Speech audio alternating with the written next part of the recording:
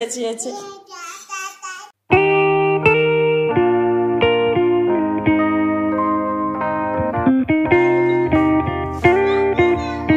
सुबह के बज गए हैं साढ़े छः फजर, और उसके बाबा सोए हुए मैंने उठ के जल्दी से फजर के बाबा के कपड़े प्रेस करने थे, इसलिए मैं उठ गई। और जैसे ही मैं उठी, फजर भी उठ गई। इसको पता नहीं कैसे पता चल जाता है कि मम्मा अब उठ गई है।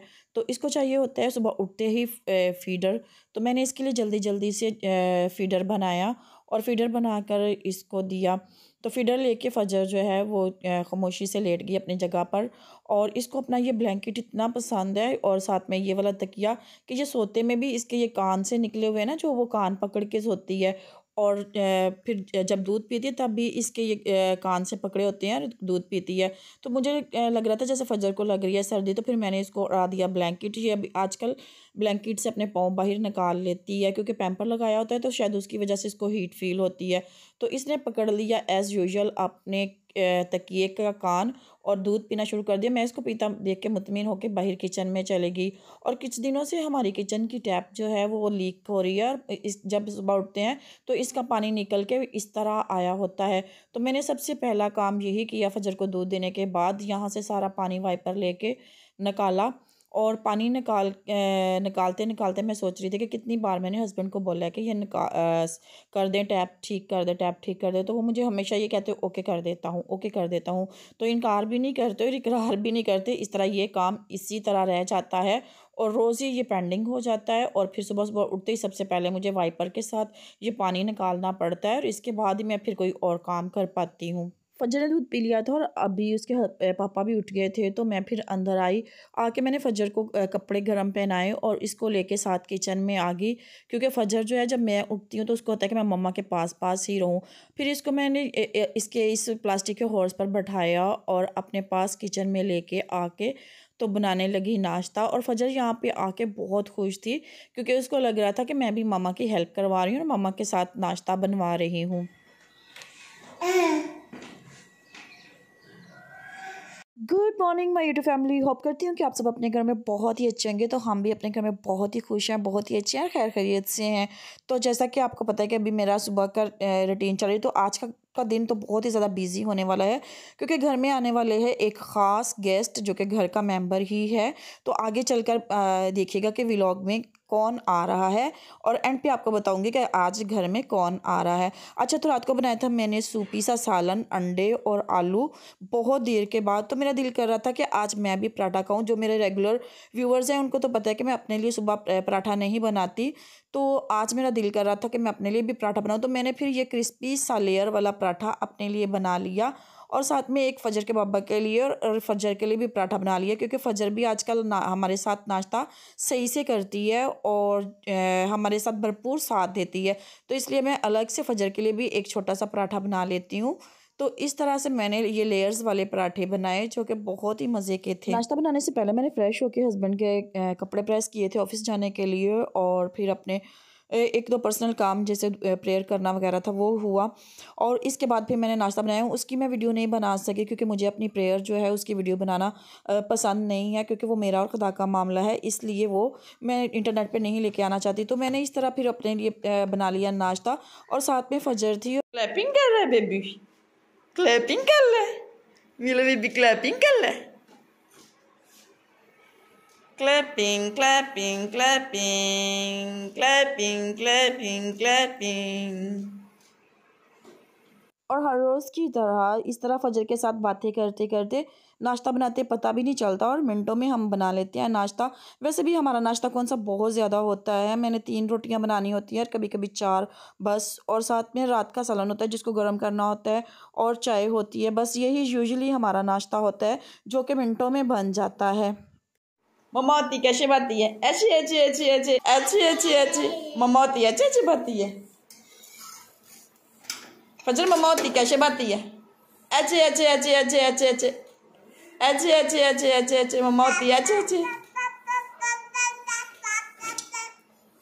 और यहाँ पर हर रोज़ की तरह फजर सबसे पहले डाइनिंग टेबल पर आ गई है और रूम की तरफ़ देख रही थी कि बाबा जल्दी जल्दी से आ जाएँ क्योंकि उसके बाबा हो रहे थे ऑफ़िस के लिए रेडी तो जैसे ही नाश्ता आया तो मैंने फजर को नाश्ता करवाना शुरू कर दिया। फिर वो अपने हाथों से भी छोटे छोटे नवाले, आजकल खाना स्टार्ट हो गई है और कभी मेरे हाथ से खाती है, कभी बाबा के हाथ से और कभी खुद ही खा लेती है इस तरह से। तो इस तरह से हमारा हो गया मॉर्निंग का ब्रेकफास्ट और अभी वो अपने बाबा को कह रही है कि मुझे उठा लो। और बाबा के साथ बातें करते करते कब टाइम का गुजर जाता है मॉर्निंग में पता भी नहीं चलता। और आज करनी है, मुझे थोड़ी सी डीप सफ़ाई, इसलिए मैंने नाश्ता ख़त्म करने के बाद फजर को लेकर चले गई अम्मी के घर, क्योंकि मुझे चाहिए थी नोमी की हेल्प तो यहाँ पर आते ही इसने जल्दी से अपनी मासों से बोला है कि जल्दी जल्दी मुझे कार्टून लगा दो। ओके लगाने लगी हूँ।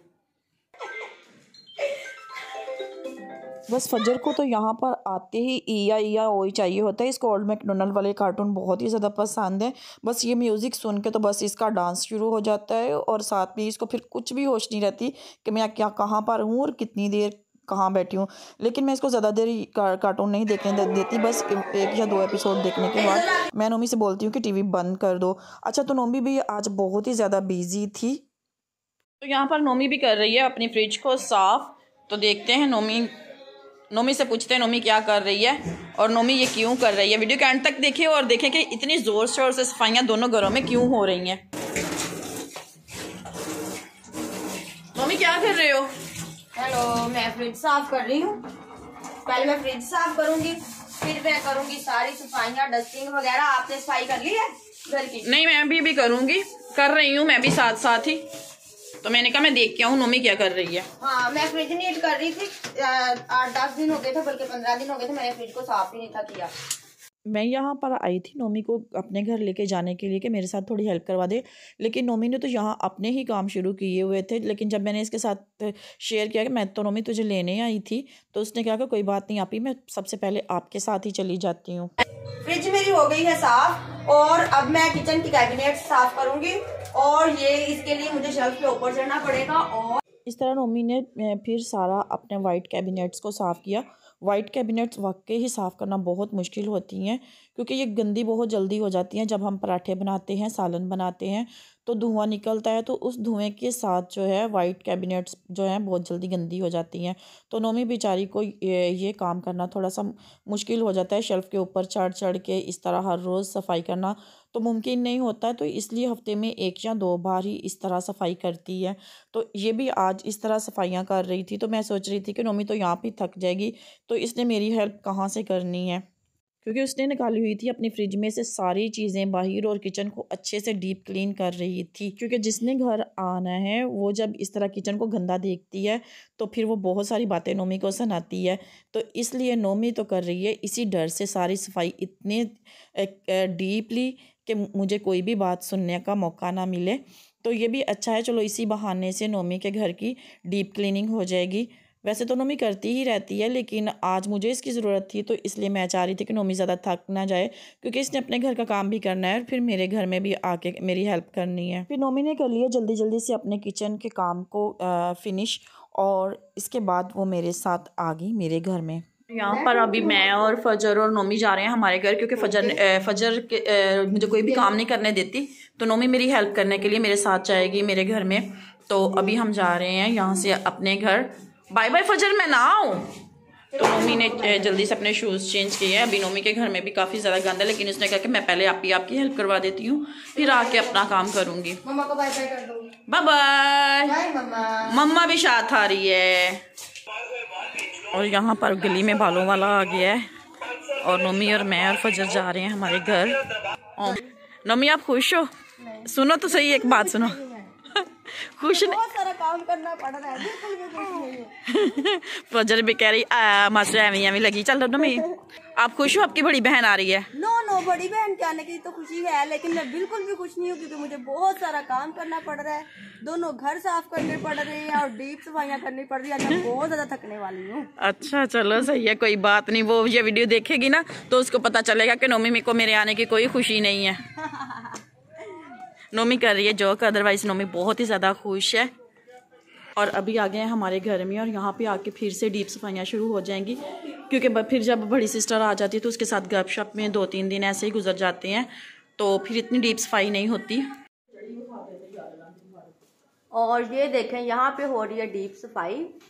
और यूपीएस को भी ब्रश के साथ साफ़ किया जा रहा है, जो कि डेंजरस होता है। आपके लिए लोहे का बना हुआ है, पाइप इसका लोहे का तो इसको जब लाइट ऑफ़ होती है तब किया करो। ये देखें। वॉल से जितनी भी वॉल से सबसे डस्टिंग हो जाएगी इसी के साथ। ओ नो इतना गंद। दो तीन दिन से आंधी आ रही थी तो उसकी डस्ट है, ज़्यादा सारी चीज़ों पे पड़ी हुई तो वो उतारी जा रही है। और ये देखिए जाले उतारने वाले ब्रश के साथ ही सारी डस्टिंग हो रही है। और ये जो इस तरह से लगी होती है ना काटिंग वगैरह इनके अंदर से ये जाले उतारने वाला ब्रश जो है अच्छी तरह क्लीन क्लीनिंग कर देता है। सही बात है नोमी इसके साथ बहुत अच्छी क्लीनिंग होती है। मैंने वैसे अभी इसको पेंट करवाना है क्योंकि बहुत ज़्यादा यहाँ से गंदी हो गई है दीवारें भी और ये भी। तो अभी मैं जल्द ही इसका पेंट करवा दूँगी। तो ये पेंट मैं एक दो माह के बाद करवाऊँगी क्योंकि अभी तक मौसम जो है वो बारिश वाला है। तो जब तक ये बारिश का मौसम है तब तक तो मैं कोई भी पेंट नहीं करवाऊँगी, लेकिन बारिश के बाद तो मैं ये सारा यहाँ से पेंट करवा दूँगी सही बात है। इसी लिए मैं इस सीज़न में भी पेंट नहीं करवा रही। मेरा घर भी बहुत गंदा हुआ है, और मैं भी चाह रही हूँ सीज़न थोड़ा सा चेंज हो, के बारिश और आंधियाँ वगैरह जो आ रही हैं, ये खत्म हो लें, और उसके बाद मैं पेंट करवाऊँगी, और वैसे भी सर्दी के मौसम में जल्दी उतर जाता है पेंट और यहाँ पे वॉशरूम साफ़ हो रहा है वॉशरूम के टैप्स को साफ़ किया जाएगा। अच्छा ये हार्पिक के साथ में हार्पिक के साथ इनको करती हूँ तो ये व्हाइट है ना तो व्हाइट बहुत अच्छी नीट हो जाती है हार्पिक के साथ।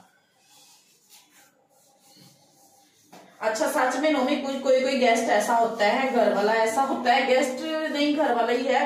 कोई कोई घर वाला ऐसा होता है जिसके आने पे हमें इतनी ज़्यादा डीप सफ़ाई करनी पड़ती है कि वॉशरूम के टैप तक को अच्छे से साफ़ करना पड़ता है।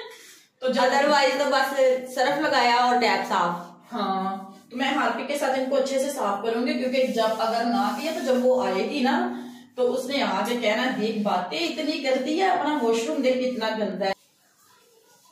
तो कुछ लोगों के आने से पहले हमें बहुत ज़्यादा क्लीनिंग करनी पड़ती है और सच में इस तरह के लोगों को आते ही रहना चाहिए चलो घर तो डीप सफ़ाई हो जाती है घर की और हर चीज़ बिल्कुल नीट और यहाँ से मैं ये टैप साफ़ करूँगी और टैप साफ़ करने के बाद मैंने कबर्ड्स को साफ़ करना है। कल परसों मैंने दो तीन कबर्ड्स अपनी ऑर्गेनाइज कर ली थी किचन की कबर्ड्स भी ऑर्गेनाइज कर ली है और कपड़ों वाली कबर्ड भी ऑर्गेनाइज कर ली है। तो अभी मेरा जब ये इतनी ज़्यादा डीप सफ़ाई हो जाती है तो फिर काम कुछ दिनों के लिए थोड़ा जो होता है रेस्ट मिल जाती है। क्योंकि डीप क्लीनिंग के बाद तो चीज़ें नीट होती हैं और थोड़ा सा टाइम मिल जाता है आपको सांस लेने का। जब ये इतनी सफ़ाई कर लूँगी, फिर उसके बाद थोड़ा टाइम मिल जाएगा कि अच्छे तरीके से फजर की मासों के साथ टाइम स्पेंड हो जाए और सारी सफाइया होंगी घर भी नीट होगा। मुझे अच्छा नहीं लगता ना कि घर गंदा हो तो हम गपशप करें या बातें करते रहें। घर भी साफ़ होना चाहिए और गपशप भी और सारा कुछ साथ साथ होना चाहिए। मज़ा है ज़िंदगी का। तो गाइज़ आपने गैस कर ही लिया कि हमारे घर में कौन आ रहा है। तो हमारे घर में आ रही है फजर की बड़ी मासो, जो कि दूसरी सिटी में है और वहाँ पे वो करती हैं जॉब तो यहाँ पे ऑलमोस्ट सफ़ाई हो गई है वॉशरूम की। वॉशरूम नीट हो चुका है, बस टैप रह गई थी, साफ़ करने वाली, वो भी होने वाली है। मेरा वॉशरूम हो गया है, अभी ऑलमोस्ट क्लीन तो गाइज़ मैं जब किसी के घर में जाती हूँ तो सबसे पहले उसका किचन और उसका वॉशरूम ही देखती हूँ। अगर वो क्लीन हो तो मैं वहाँ पर स्टे कर सकती हूँ। अदरवाइज़ वहाँ पे रुकना मेरे लिए मुश्किल हो जाता है, जिनका वॉशरूम साफ़ ना हो और जिनका किचन साफ़ ना हो, क्योंकि ये दो चीज़ें ही होती हैं जो कि थोड़ा सुकून देती हैं अगर साफ़ सुथरी हो और हम वहाँ पर रह सकते हैं। तो बहुत दफ़ा इस तरह होता है कि मैं किसी के घर जाती हूँ तो वहाँ से जल्दी वापस लौट आती हूँ, क्योंकि उनका किचन और वॉशरूम गंदा होता है और मैं वहाँ पे स्टे करना मेरे लिए मुश्किल होता है। और यही मुझे लगता है कि जब कोई मेरे घर में आएगा तो ये चीज़ें देखेगा तो फिर उस, उनके लिए भी मुश्किल होगा मेरे घर में स्टे कर पाना और मेरे घर में रहना।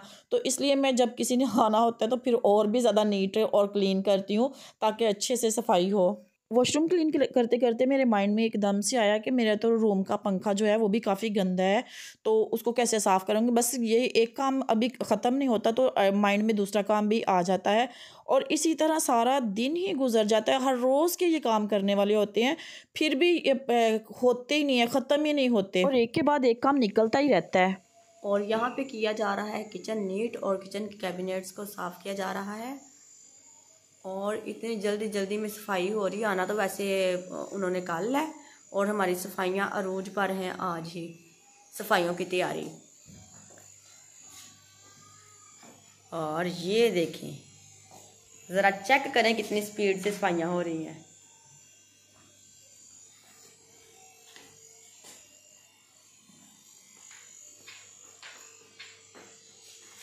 और अब की जा रही है फ्रिज नीट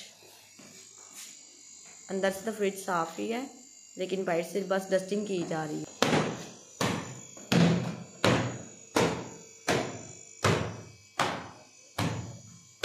और ये इतनी सफाइयाँ हो इसलिए रही है कि आंधी आई थी तो उसकी डस्ट है, हर चीज़ पे पड़ी हुई है इसलिए। अदरवाइज़ तो हर रोज़ ही सफाइयाँ हो जाती हैं नीट क्लीन ही होती हैं हर चीज़ की डस्टिंग की जाती है।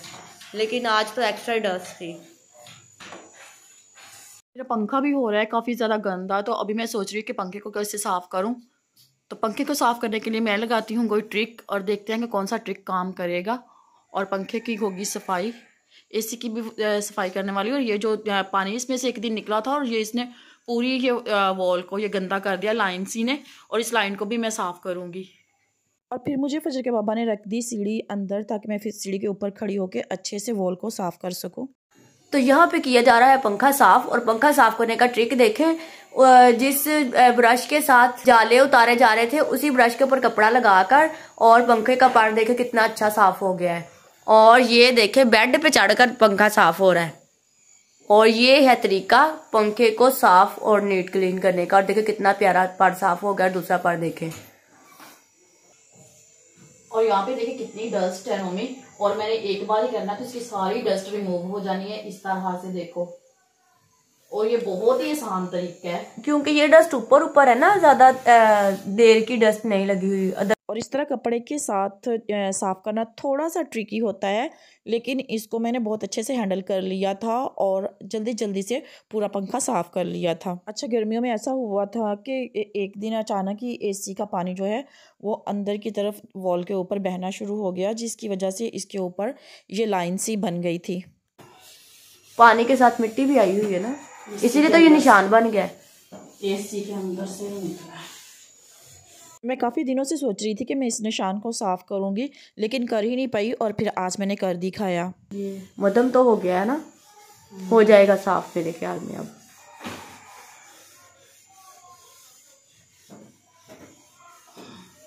और यहाँ पे पंखा जो है ये तो कर दिया गया है साफ़ अच्छे तरीके से।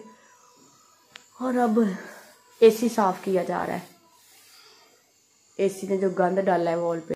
इस तरह सीढ़ी के ऊपर चढ़ के तो वॉल को साफ़ करना मेरे लिए थोड़ा सा मुश्किल था मुझे डर लग रहा था क्योंकि नीचे पत्थर है और पत्थर पे सीढ़ी आराम से फिसल सकती थी बस इसी कश्मकश में मैंने वॉल को साफ़ कर ही लिया डरते हुए। का तो बहुत अच्छा साफ़ हो गया है। और वहाँ पे एसी में से जो निकल रहा था दाग वो भी साफ़ हो गया। सूखने के बाद ये सही पता चलेगा कि कैसा साफ़ हुआ। अभी वॉल को भी मैंने साफ़ कर लिया है अच्छे से। और यहाँ पर किचन की कैबिनेट्स वगैरह भी सारी सही से साफ़ हो गई हैं और किचन भी अच्छे से साफ़ हो गया है। डोर वगैरह से भी सारी डस्ट उतर गई है और सारे मैंने जाले वगैरह उतार दिए हैं। वॉल्स अच्छे से साफ़ कर दिए और वॉशरूम की टैप्स वगैरह सारी अच्छे से धुल गई हैं और वॉशरूम भी नीट एंड क्लीन हो गया है।